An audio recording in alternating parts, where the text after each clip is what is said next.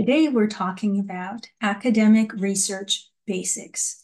We will talk about some of the most important components of academic research, how to organize your research, and what you can focus on as you start out. So, what is the difference between primary and secondary research? I think this is a very important question to start our discussion today. Um, so, do you know what is primary, what is secondary? Primary research is observing the source of information directly. Secondary is gathering information from research that has already been conducted. So, as you see in this image, we can specifically observe the behavior of squirrels, or we could read about their behavior from other researchers who were observing their behavior themselves. That is the biggest difference, and you really need to see the distinction between those.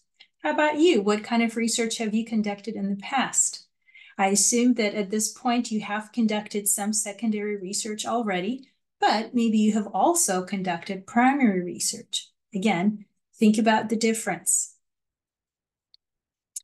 Types of sources that are used within those two styles of research. In primary research or first-hand accounts, we can include historical documents, interviews, surveys, eyewitness accounts, original work like a poem or a novel, experimental work.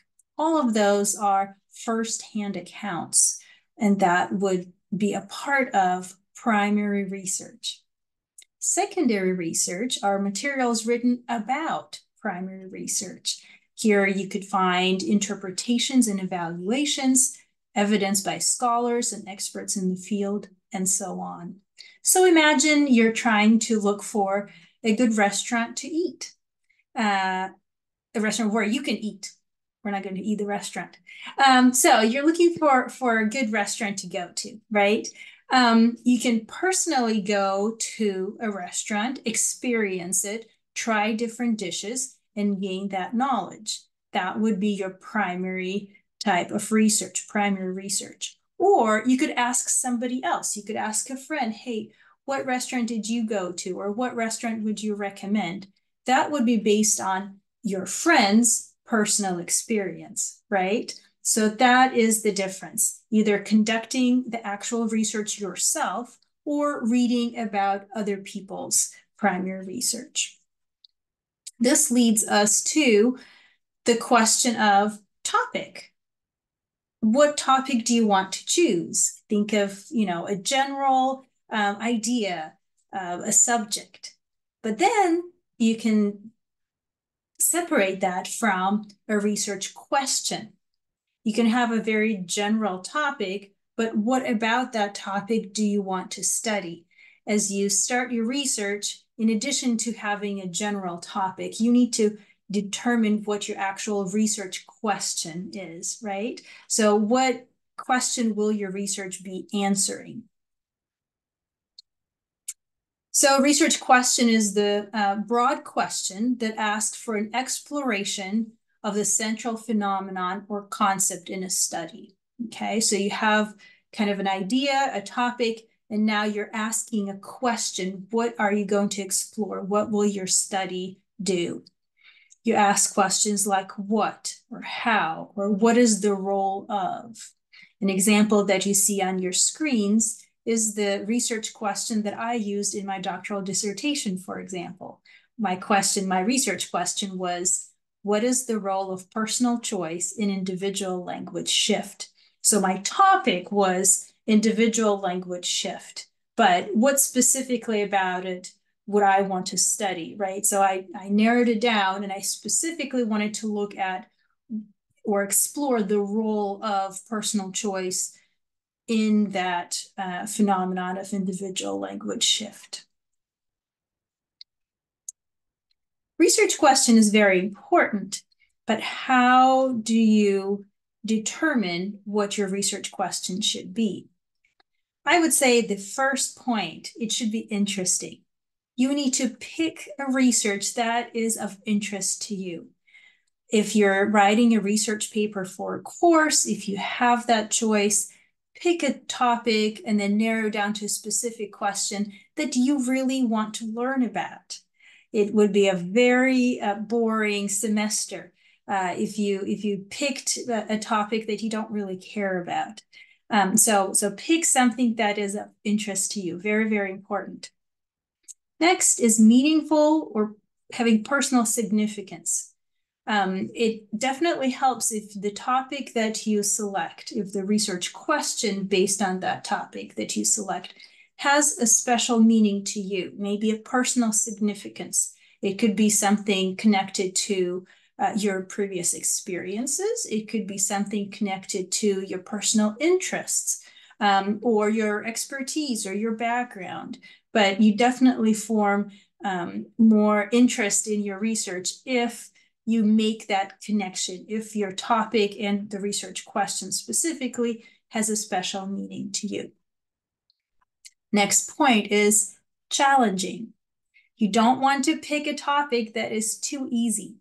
Sometimes our lives get complicated and, and, and we want something simple, but in reality, when you start conducting research, if it is, if the answer is too simple, then you will lose that interest in your work. So think of something that will challenge you in some way so that you can look forward to learning something new, finding out new material, uh, looking forward to knowing the results of your study.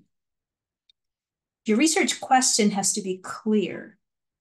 Try to avoid additional words Try to avoid questions that are too long. You want to be very clear. Every word needs to have its proper place. You may want to revise your question multiple times to finally come to that one very clear question. Your research question should be researchable. It should be something that you can actually uh, resolve at the end if you're asking a question, you want to be able to find an answer. We'll talk about this um, later on during this presentation. Specific is another characteristic. You, you don't want to have a research question that is too broad, too general. You want to ask something specific. The topic could be broad, but the question needs to make it specific. You can try to offer hypotheses or speculation about answers. And that is usually a part of your research as well. You try to answer your question before you conduct the actual research and then see, is this an obvious answer? Or uh, could this possibly be different? And then, of course, it is always fascinating to see if, if your own research follows what you expected. Sometimes we find things that are very unexpected. Sometimes we realize that we did something wrong or our expectations were wrong. So, you know, you, you don't necessarily have to have the same uh, response to your question as what you have provided in your hypothesis. So, non-researchable question. I mentioned it uh, a few minutes ago. What is a non-researchable question? So I want you to think about it for a minute. All right, so here are a few points. Uh, there could be others, but these are some of the um, significant you know, ideas that could help you find or eliminate that non-researchable question. Data is unavailable. You're asking a question that you cannot answer. You do not have the data. Maybe you don't have access to that data, or maybe the data simply doesn't exist. So as you ask, and as you formulate your research question, you have to see, will I be able to find data to answer my question? Next one, obvious answer, or only one reasonable answer is possible. That means that your question is non-researchable. If it is something that you can quickly Google online, and get a very specific answer, it is not worth conducting research the whole semester to find out that exact same answer. So if, if there's an obvious answer, if there's only one reasonable answer, the question is really non-researchable. Value-based responses. What does that mean? That means that the answer depends on your or somebody else's personal preferences. You can't ask which color is prettier, blue or red. That depends on your personal preference. Um, the same could be about food or uh, travel destinations. Um, and, and you can take that further to uh, more scientific ideas as well, but you really have to distinguish, is this really an answer you can come to, or does this merely depend on personal preference, value-based judgments, right? Cannot test a hypothesis. So if you have a question and you have a possible response, but you can't test it, you can't find out what it is, then you have to, um, you can't conduct the research. You cannot find out the answer. So if you can't test your hypothesis, it is not researchable. You need to figure out how to adjust your question so that it becomes researchable. When you conduct research, you need to have a plan. You need to plan it out. You can't just start this very moment. You have to plan things out. Just like if you're writing an essay, you need to prepare an outline provide a plan so that you know what you're writing about. When you conduct research, you have to keep in mind so many different components.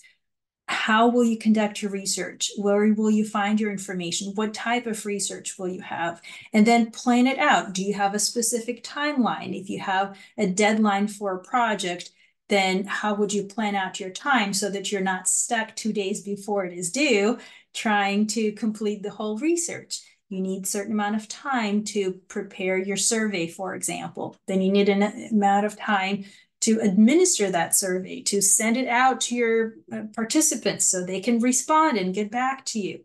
Then you need some amount of time to analyze it. Then so so um, again, you need to plan out your process there are two components of this, and I sort of mentioned both of them. One is an outline, and two is the project planning. So an outline could be kind of a the basis of your final product, your, your research paper. You create an outline.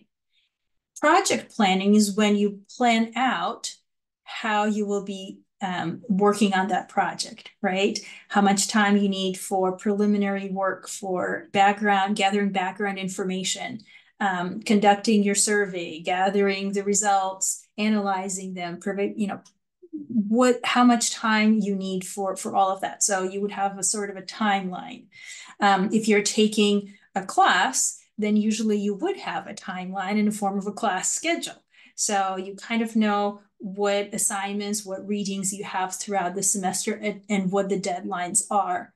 Um, if you conduct research on your own, you have to create those deadlines for yourself so that you can plan things out. Even if you don't have specific deadlines, at least you need to have uh, an order of, uh, of events that need to happen. One of the important components of research is, finding additional information. So whether you're doing secondary research where the whole research is relying upon um, research that other people have conducted, or maybe you're doing primary research, you still need to learn what is already out there, what other researchers have done. So you will be using additional materials in your research, no matter what style of research you're doing. So um, as you work on your research, you need to maintain a working bibliography. So you, you maintain records of everything that you're finding and that you can potentially use in your research report. For every source that you find, you need to look for a library call number or URL for each website. Um, you, you know, the image on your screens shows uh, several books from a library bookshelf. And they all have this call number window, right? Where there's some letters and some numbers. Um, and this is how we keep track of books in libraries. So this is how you can find a book. Um, So definitely write down the call number if you have physical books that you have checked out from the library. Um, URL of each website. Keep that address available so that you can access that uh, source again at some point. For every source that you find, definitely write down the authors or editors or translators if that's applicable. Keep track of, keep records of all the titles, book, journal, chapter, article, write that down. Publication information. So date of publication, location, publisher, edition, all of those things. And page numbers, that is very important too. So if you keep a record of a, of a book and the book has 300 pages, you need to know which page you found that quote from so that you can later use it in your writing. There are different ways of maintaining a bibliography. Uh, you could have printouts and photocopies where you have, you know, a physical binder, maybe with a lot of materials gathered there. You can keep a notebook where you take notes. Um, most likely you will have a computer folder with a number of files. So make sure that you keep uh, your materials organized. Uh, you can even do post-it notes with some basic details. Um, you can't put as much information on a small post-it note, but you can uh, find a way of organizing your material. So definitely keep a working bibliography. All of the stuff you find recorded in some way. How do you record this information is kind of our next step, right? Um, first is, you know, you can paraphrase or summarize. You, you can have a direct quote. Um, you can um, keep separate notes. There are different styles of note keeping. Um, Brook Notes is is one of them. Work nets is another. So, and, and, there are many other different styles. There are different uh, computer programs and apps that help you organize materials as well. So, as you get more involved in research, you find what strategies work for you to take notes from different sources. And of course, the main point here is to avoid plagiarism and copyright issues, right? You want to make sure that if you're sharing somebody else's idea, you give credit to the author so that it doesn't look like this is your idea because it is not. And then you can get a lot of trouble. So in the research community, you really need to make sure you give credit to people whose ideas you're using, which is fine. Don't be afraid to use other people's ideas in your writing. That's fantastic. That shows you're, um, you know, a well-researched um, author. But you need to keep record and reference the authors of all of these ideas that you're sharing. As you look at your sources, you need to evaluate them. Uh, you can't just take the first item you find in the library or first item you find on your phone if you do, you know, a simple search you need to check your sources. So you want to evaluate them for reliability. Are they reliable? For credibility and authority, who's the author of this um, piece that you're reading or listening to, right? What, you know, how, how credible are they? Relevance, how relevant is this material? Context, is there um, specific context um, around a particular source? I assume you have um, experienced, you know, seeing something taken out of context in personal communication.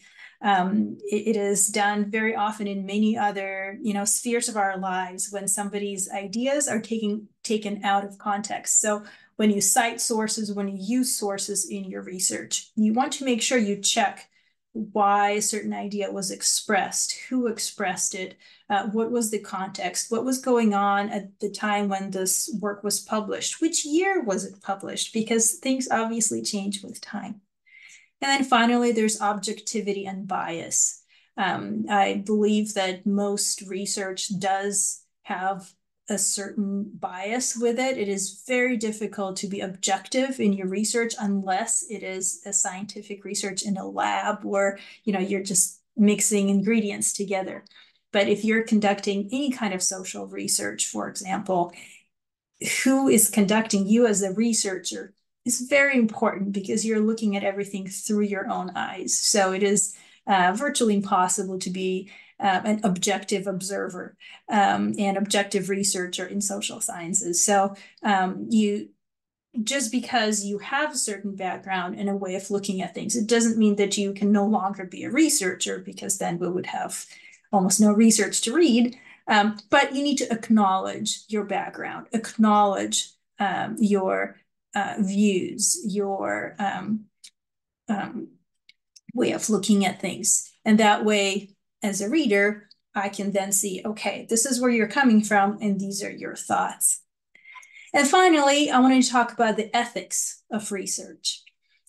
Confidentiality. What does that mean? It means that you will keep your research participants' uh, personal information confidential.